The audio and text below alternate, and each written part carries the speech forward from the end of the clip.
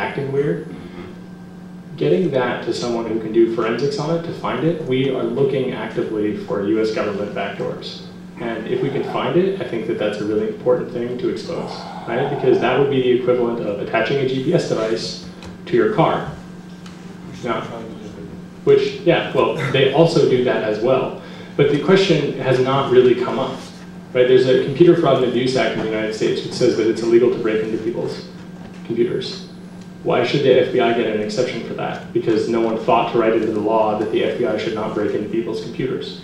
I mean, that just seems ridiculous to me. Well, on Monday, not the last Monday, but the previous Monday, I went to an Open Society event where the Deputy General Counsel of the FBI was there. And um, the question was posed before me, before I asked my questions, um, does the FBI only need a subpoena to send malware to someone's phone in order to take it over? And she said, well, if there's no trespass, then in USC, USA v. Jones, which is the GPS tracking case, you know, it's not clear exactly, but if it's tracking for more than 28 days, we know that's bad, but we don't know what exactly good is. that is ridiculous. Yeah. But it gives you an idea about what kind of wiggle room these people really believe that they have. So they think in USA v. Jones that the only thing that really matters is that the GPS tracking device was attached to someone's car like trespass first, and then because it was tracked for a long time without getting a warrant, that this is essentially, those were the two problems. Like they should have gotten a warrant after 28 days, because that's too long, or before 28 days passed, and they, they of course should have had a warrant to trespass onto the property. So her line of reasoning in this was essentially that if we don't physically trespass by electronically putting it on the device, well, that's not trespassing. And well, if it's you know not you know if it's less than 28 days of tracking, well, you know, it sounds like a gray area. I'm just not sure about whether or not a subpoena is all we need. I'm not sure was pretty much her answer. I have to check on that. So that means that the Deputy General Counsel of the Federal Bureau of Investigation wasn't sure if breaking into your phones is something she needs a warrant for or subpoena. So what do you think a national security letter does in that case? Well, considering that in some ways it's worse than it's worse than a warrant and yet has less oversight than a subpoena, that should be like pretty chilling, right? And the FBI builds these backdoors. They write the software and they have them. Um, so targeted attacks like that are, are, are, a serious problem as well, and we're looking for those. So if when you go to the courthouse, you find that your phone behaves differently, it might get one of those. Now, we've never found one of the FBI's bugs in the wild, but if we were to find one, it would be international news. If you think you have one of these, be very careful about getting it to me, but I would love to take a look at it because I have absolutely no fear at all about taking something like that public. That's a, something that needs to have national debate. Um, I heard that um, uh, rooting your phone or flashing your ROM on an Android uh, can disable the tracking feature. Um, I don't believe that, but um, does it at least um, make it impossible or more difficult for uh, FBI or NSA to put malware onto your phone? Um, does that help at all? Well, so the short answer is you have to separate them by threats. So the NYPD are incompetent boobs by comparison to the NSA. And the NSA are still government workers. So they have you know, a lot of resources, and there are a lot of them, and they have incredible abilities to do things, but it's still, for a lot of people, a nine to five job. So you have to divide first and determine who your threat is. If you're really worried about the NSA targeting you, which is actually my threat model in a lot of ways, you're screwed. That's it. Like, I mean, you can do stuff to take steps so that if they ever reveal your communications, you will show that they have broken into your computer. I do that. I use lots of crypto. I, I take a lot of steps to make it so that podunk cops in Seattle, where I live, don't get data on me. So wiretapping my internet connection is worthless right? And if they try to do targeted exploits and I catch them, then I would expose them. But if you're worried about the NSA doing targeted attacks against you, they're going to do attacks which are unbelievable. So for example, they will have what are called tempest attacks. So they will look at the electromagnetic radiation of your house. Right? And so they will like be able to look at what your computer is doing that way. They don't just have to break in. They can also break in but so for example, they can look at your cell phone They can crack the crypto on the cell phone call. You can crack the crypto on the NYPD cell phone calls, by the way. That's another discussion. But but just by doing passive interception, you can you can do that. The NSA can absolutely break GSM and CDMA. Those are the two competing cell phone standards. Absolutely can crack that, right? So making that call, the call, irrespective of whether or not your phone is cracked. Um, one useful thing that you can do, of course, is you can make it with like a rooted Android phone. You can make it so that um, you know, it's very difficult to push an application onto your phone through the carrier. So if you're trying to defend against the carrier, for that specific thing, that might be possible. But probably not even that. You can do some things, though, that will protect you a little bit from passive attackers. So for example, if you have a rooted phone, all your data on the phone can be routed over Tor, or over a VPN, or both, or something like this. And there is, there is value in doing that. I mean, you want to know that your device is yours, but you should never assume that there's such a thing as perfect security. So you have to compartmentalize things, right? Like, just, just try to think about it as different levels of an asshole that is abusive to you, and is in your pocket. so just because you've got like a thumb on his neck does not mean that he won't turn around and bite you, right? I just, I just like, I can't like tell you how frustrating it is, but the, the FBI basically puts these vulnerabilities or allows these vulnerabilities to exist is a better way to put it. They allow them to exist so as to maintain their so-called lawful interception capabilities. So when you travel abroad or you travel to another state, they want to be able to intercept your calls. And they're willing to allow anybody else with this technology to intercept your calls too so that they maintain access. And I asked the FBI lady about that. And I said, why do you make it so that my job is harder to help secure activists abroad? And what about the fact that everybody, every businessman and businesswoman in America is a threat to this?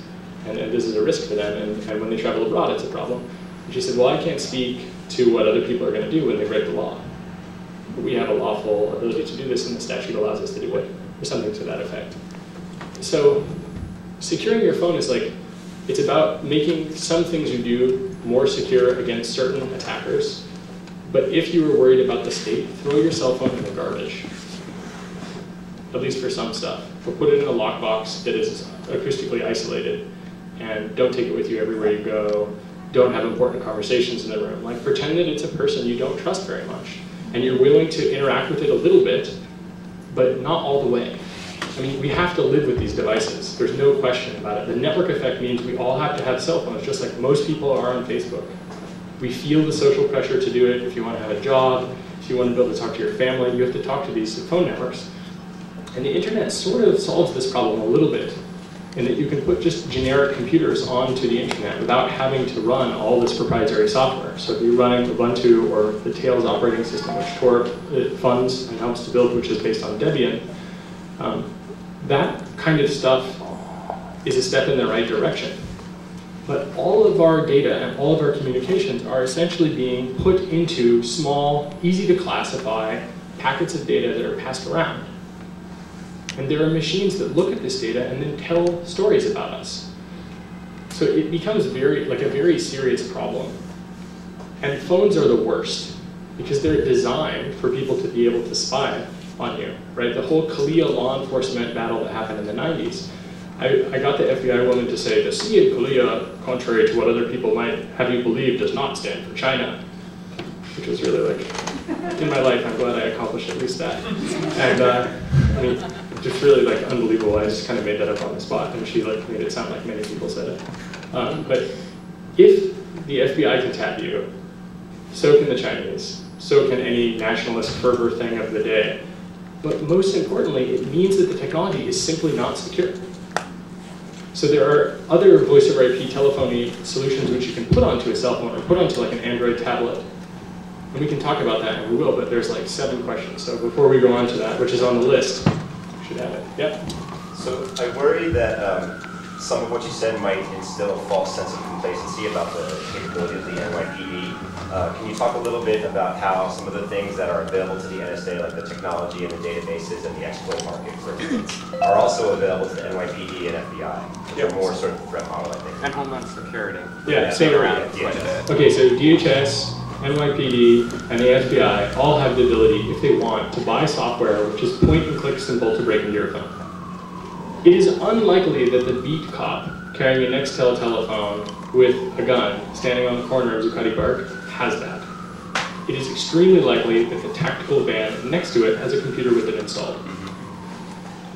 And that I think is important to distinguish.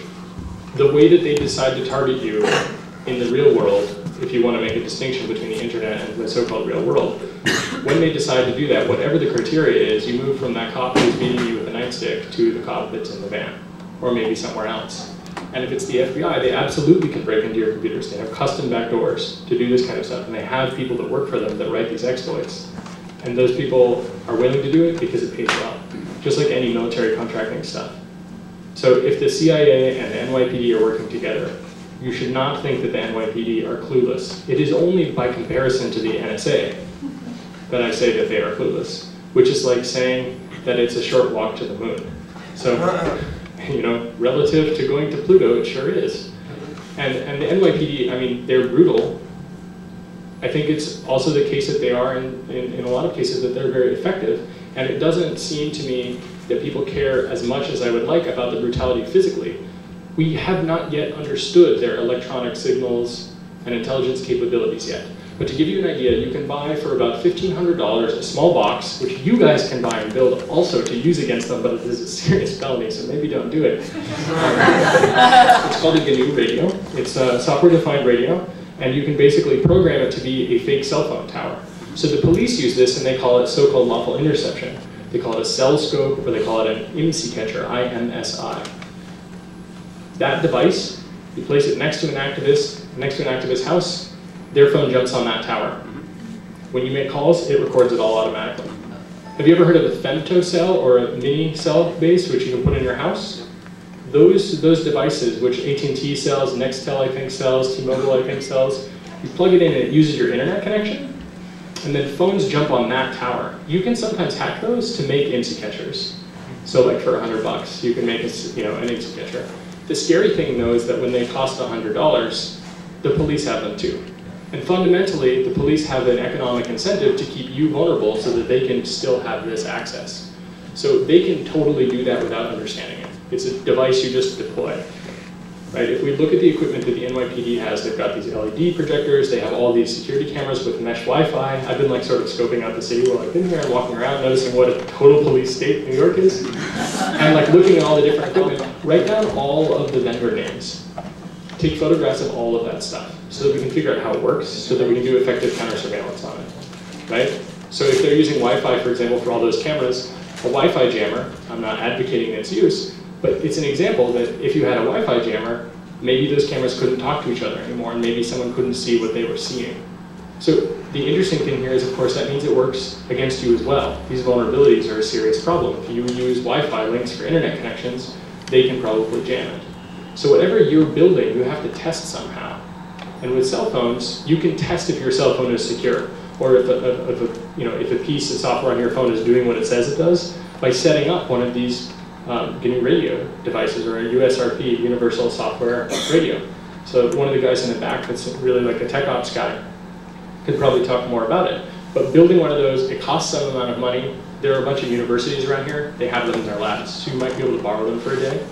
And using just free software, you can get your phone on it and see what you can do to your phone. And I mean, it might be useful, but the short version of it, even if you don't do any of that stuff, is that your phone is a snitch. Treat it appropriately. So, yeah. So at this point, is it, is there any point in just deleting any of the phone numbers or any of the information from the phone, or is it, is it just overkill effort to do? Do you believe that the broken window theory is a good way to describe society? So the broken window theory is this idea that you're in a city and you see a broken window and so you don't respect the neighborhood, you don't care about it, it's like, oh, it's all shit, just throw it all away now. Because when you go into a neighborhood, do you treat it, if you see it looking sort of bad, you know, does that lead you to kill someone? Right, it- exactly right. So the broken window theory of surveillance essentially is, is, is that question, which is like, well, if they've already got a lot of data on me, shouldn't I just give up? No. The answer is that you should never give up. We can totally effectively resist this kind of surveillance by making our new behavior safer. And so, you know, having a notepad is not safe against NYPD seizing it. An encrypted cell phone might be safer against that. So if that's your threat model, you pull the battery on your phone when it's encrypted, they're not going to get your address book unless they get the password from you, probably. That's really, I think that's a that's a totally solid, great strategy for that. And the notepad is safer if you keep it next to a fireplace and you're willing to throw it in there at the very end. Both of those work depending on what you're trying to defend against. And so just because we live in a surveillance state doesn't mean we can't turn it around, right? The whole Occupy Wall Street idea of making the world a better place comes from the fact that we're in a bad place and we've got to turn the ship around before it gets significantly worse. At least that's my take on it. I, I mean, I don't know if I get any twinkles in that, but, but, thanks. But, but, but we have to not accept, we, we must not accept a fatalistic view that because our cell phone has some data or we've already made those calls, that we're doomed. We just have to be aware of them and adapt ourselves. So let's say that you meet someone who has an inside leak in NYPD's police brutality or that they've been doing surveillance, right? Don't use your cell phone to call that person. That would be a link that if you were to create it, you would be now linked to that leak. But if you're aware of that, you just have your normal phone, keep it at home, like, oh no, I was, it's over there. What are you talking about? Never met that person. Oh, I call every source I have on my telephone. Is there a record of that? No. Got proof? Right? So that, I mean, that is something you can do. You can use your data trail against people that are trying to oppress you if you know what you're doing. Just, just think about it in that way. And all you have to do is think about it non-technically. Think about it in terms of actually having real people interacting. Pretend these interactions are photographed by someone. If you were, if someone produced a dossier of these things, what would it tell?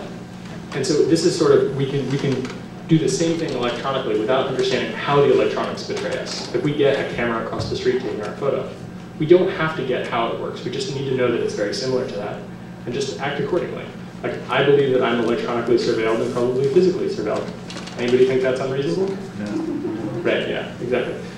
Sucks, but it's probably true. That doesn't make me not do stuff. It just means that I do stuff differently. Like I'm aware of the fact that if I call someone on the phone, that might be a problem for them. So I call a lot of people I don't like on the telephone.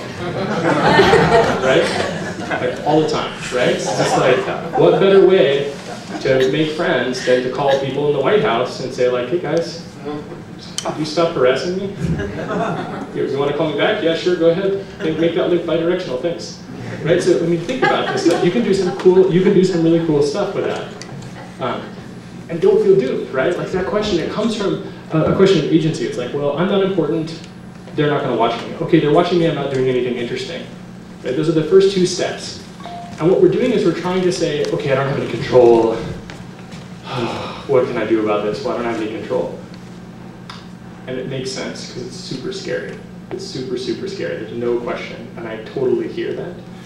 The next phase is to talk about, well, I'm already in it, so I'm done.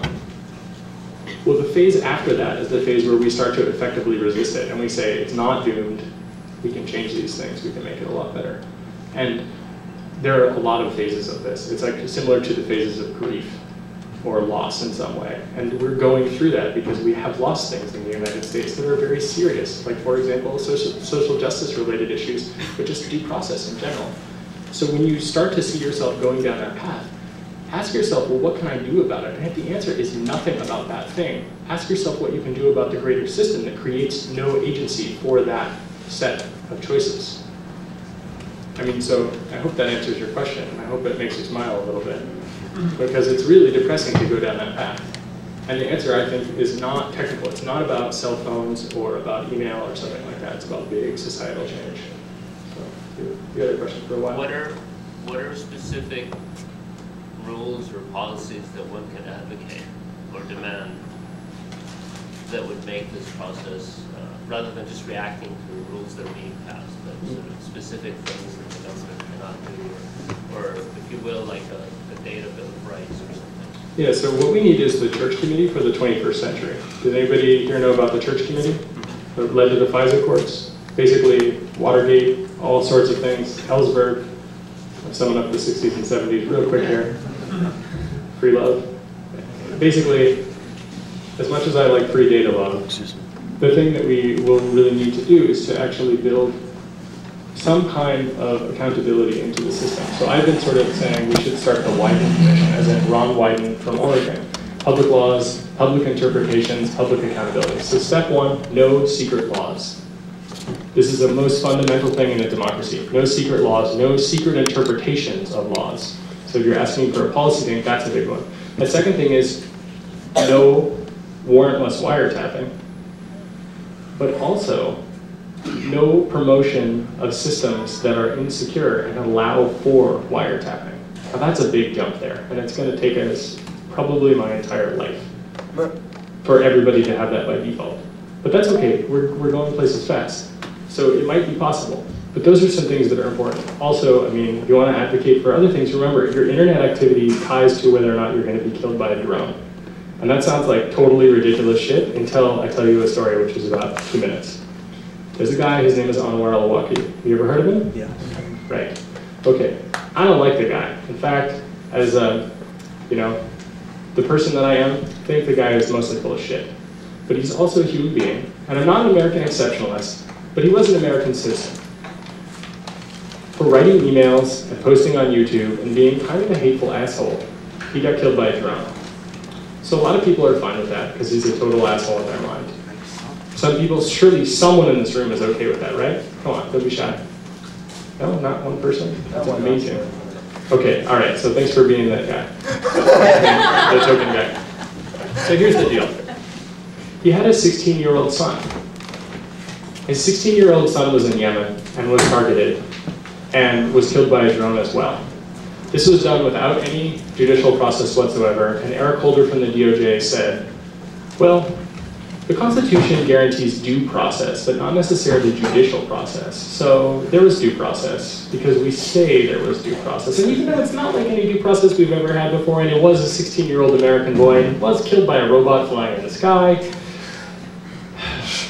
it's legal because there was a there was a process. I me assure you about that. And it was two weeks later, Jay. Yeah, exactly. And so it was actually a totally separate strike. So this guy who just had his father killed by a fucking flying robot because of his posts on YouTube and emails he sent to people, no matter what the content, no matter what the content, killed without a trial. And his son, two weeks later, was assassinated. Now, is that going to happen to anybody here? Probably me. But anybody else? Maybe. I don't know. But, I mean, I'm not worried about it, right? I mean, if, if we're in that world, like, I'm not the only one, you know? I mean, there's, Misery loves company. And I mean, I mean, it, it is something to be worried about in the sense that when the United States literally goes around killing American citizens without trials, that is some super scary shit where everybody needs to take account and take stock of what it is that they're leaving behind. Because if you don't get a trial, you don't get to speak in your defense. And in fact, you're not even guilty, you're the son or the daughter of someone that is guilty, or the friend of someone that is guilty we have lost our right to freely associate to the point that we lose it with our lives at the same time. Now, maybe that won't happen in the United States, and I'd like to be the optimist in the room and say that that won't happen. So maybe it won't happen. The question is, who wants to be first? Right? So you want, I think, to minimize whether or not you're interested in this. I mean, when Binney, the guy from the NSA who was on Democracy Now!, he talks about this. He talks about America as the Weimar Republic. When a 40-year NSA veteran who fought the Cold War calls America the Weimar Republic, I don't even know what to think. I mean, that is unbelievable, because it sounds like the most ridiculous, over-exaggerated nonsense you can imagine. Like, surely not our America. I mean, sure, if you read Howard Zinn's People's history of the United States, like you might think, well, okay, it's consistent. but even then, nobody wants to believe that that's happening. But it really is. That's a documented fact, and they will not even explain the process by which they killed this person. They just say, trust us. And that person killed is the son of someone that was a total jerk. Everybody deserves a fair trial. But the question is, historically, part of the group that you're a part of, whether it's racial, gender, religious, whatever, how's your group fared historically? The groups that you're a part of. Like for me, as like an atheist, bisexual Jew, I go on, uh, oh, and, and I'm, you know, I, I'm really, like Emma Goldman is one of my great heroes, and I really think anarchism is a fantastic principle by which to fashion a utopian society, even if we can't get there. Like historically, that does not go well. So here's the question, do we really believe that things won't be like that? And I think that the answer is like no, and that's why you're all here. So it is most important for you guys to contextualize these security culture things and these action things to try to protect yourselves, because if you guys can't protect yourselves on the front line, I don't know what regular, everyday people who don't even care to take 10 seconds, what they will do. So that's my quick little story to answer your question, and I hope that it has convinced you drug killings are bad. Yeah, you have another question? Yeah, I just wanted to ask you, I mean, one of the things I'd love to get from today is whatever, I know this sounds really sort of a little too elementary, but just whatever sort of general set of do's or don'ts, when you say, if you contact me, be careful. You say, you know, throw away your cell phone if they, if someone takes it from you. Yeah. Right, these are things, I, I hadn't thought of that. But, you know, uh, I use TrueCrypt, you know, with a 26 character encryption on part of my hard drive. Is that worth doing even? You know, in, in terms of, my concern is general. I don't have a specific, you know, threat profile in mind. I'm concerned about civil liberties, about, you know, the NSA, the federal government, and, you know, anything any one of us does could be deemed by somebody to be investigatable or wrong. So, you know, I'd love to know if a BlackBerry is better than, you know, if, if there's anything I can do to a BlackBerry that makes it better than everybody else's iPhone, if there's anything I can do to my hard drive that makes it more secure, or whether Tor is really an answer or not to most people's need for protection. Sure, I mean, so to rephrase it, you know, the question is, what's the question? And like, how do we do just basic stuff without, without an adversary in mind? Well, okay, so you have an adversary in mind. You have, you named a few of them. Yeah. And I think that TrueCrypt is actually an effective method of protecting your hard drive. I talked to um, an investigative journalist who also testifies in court cases, and he said that in his experience, that people were able to recover data not from TrueCrypt disks, but from other disk encryption solutions like PGP disk. And I thought that was a pretty wild claim. And I don't know if that is substantiated by any kind of fact, but it's an interesting data point when someone who does forensics in a courtroom says that. So you're basically threat modeling around the idea that someone just steals your computer and they don't use any advanced forensics. So let's say they take your computer and they turn it off. That is not a given. But let's say that they do take your computer and they turn it off. A 26 character passphrase that's actually like a strong one, if they didn't put a keylogger on your computer, if they didn't target you, you are not the slowest running bear in the room. And you should take that, if they take your data and they try to get you to give up your passphrase, you should fight it all the way. You should say, I have a Fifth Amendment right not to incriminate myself. And if I tell you my passphrase, then obviously I'm the owner of, that. Some of these have deniability built into. Yeah, and so, for example, Julian actually created, Julian Assange created the rubber hose file system with deniable crypto, which was built in, which is similar to what TrueCrypt has. I think it's a different implementation, same idea. If you want to try that, think that's awesome. You know, you can be the first to decide if TrueCrypt's deniability works. I personally would take the go fuck yourself route, but that's just my personality. So, I mean, I have like a, a, lot of attitude towards authority, and if you want to try to be smart about it and like say like, oh, you know, I'm not doing anything wrong, and oh yeah, here's my passphrase, it's I love the police, and it's like a hidden volume that's you know deniable passphrase. If you want to do that, that's fine, but you probably will get in a shit ton of trouble. In that, um, you know, if you lie about that being your only passphrase under oath, that's like that in itself is a crime, right? So.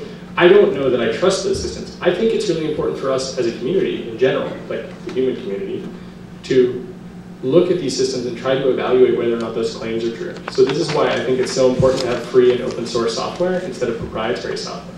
Because it's really difficult to evaluate someone's claims if you can't actually see how the claims are implemented.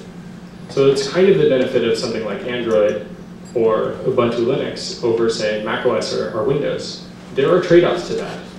So you have to make your own choice. If you're using Windows and TrueCrypt, you might have problems with Windows. For example, accidentally writing the cryptographic key out to the hard drive, or if they get your computer when it's on. I think the TrueCrypt people protect against that.